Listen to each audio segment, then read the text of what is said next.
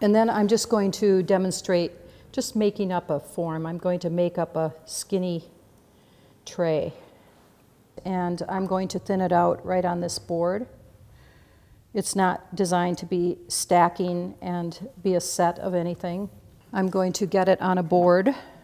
So I've thinned it out sufficiently. There's a little dry wad in there that I'm just going to ignore. It'll be okay.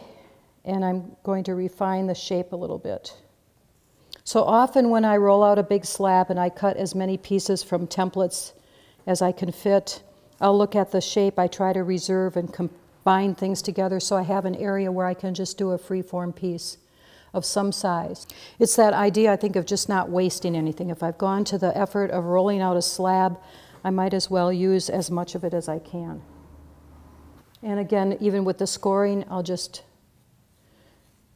come in about an inch and score. Ideally, I like it when one coil wraps around the whole thing. So I will paint a little water. And as you go through this DVD, you'll notice that I don't use slip. I just use water.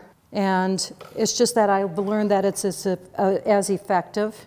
I'm going to lift this up in part, but I'm pressing down. And as I press down, I'm using just my torso here to control this wheel. I can just do it like that, and my hands are free. I'm pressing down with a tiny little slide at the end of the press to the left. So just stretching that, which will help it stick. I'm starting to blend it into the body of the form. And as I get up to where I started, I will just cut, and I'll cut a little bit over so that the end of the coil will slightly overlap the beginning of the coil. And that's just for security reasons. If this was going to crack anywhere in the course of everything it's going to go through from drying to being fired, it would be there. So I will even score over that joint a little bit. I'm wringing out a sponge into the damp stage, and I'm just drawing the sponge very lightly again, a little compression over this coil. I'm just starting to really work on blending it a bit.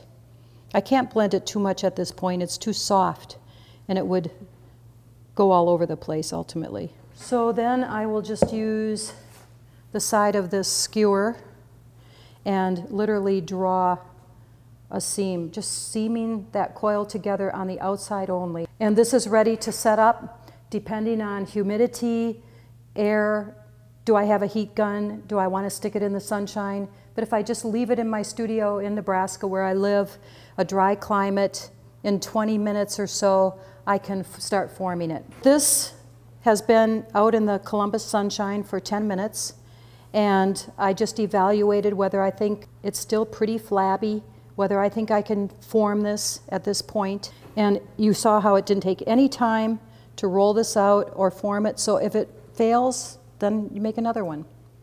So I just flipped it over and I'll take my hands out and you can see how the coil is just keeping this raised above the surface. So it's not completely flabby. It, the edges didn't go like that. And I'm going to just tap down, and this is what I love about this.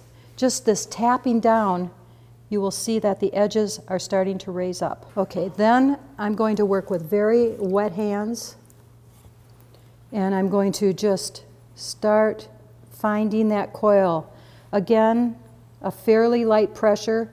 I'm exploring the base of this slab, pushing it down and moving it out to where the coil is.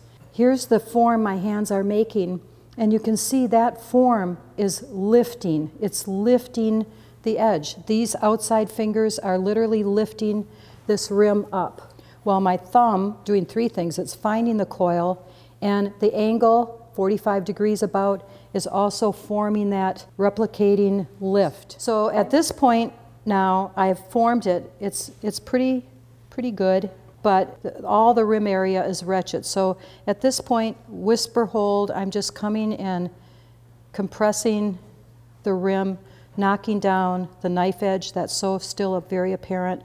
And I'm just going to come in here, I'm spreading my hands out to just equally, hopefully, to articulate where's the middle. I'm deciding it's there. And I'm just going to do this. And I could just do that and leave something like this, the double banana split bowl, for example. But I'm going to start back, I'm going to come in here, and by holding where I want the ruffle to go out, I'm going to then push in between.